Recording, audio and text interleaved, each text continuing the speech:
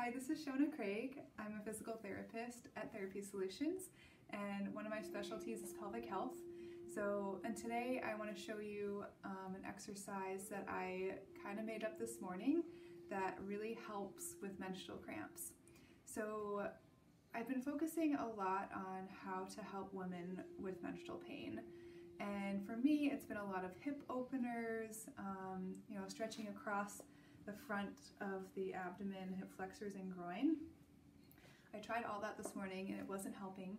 So I laid on my side and I kind of tapped into that like intuition and just moved into a pose that I felt my body needed. And this is what it ended up being.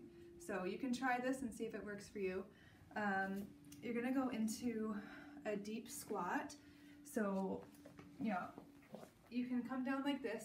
If you need a modification, a nice modification might be add a blanket roll under the heels so you can get a little lift or you can have your back against the wall. Anyway, you come into the squat and then you can have tie a strap around a, a sturdy uh, pole or have someone hold it for you on the other side.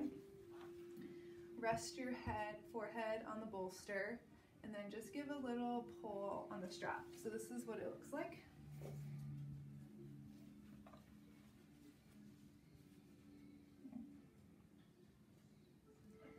And so what I feel is a very nice release in the low back, kind of right up to that kind of lower um, thoracic junction.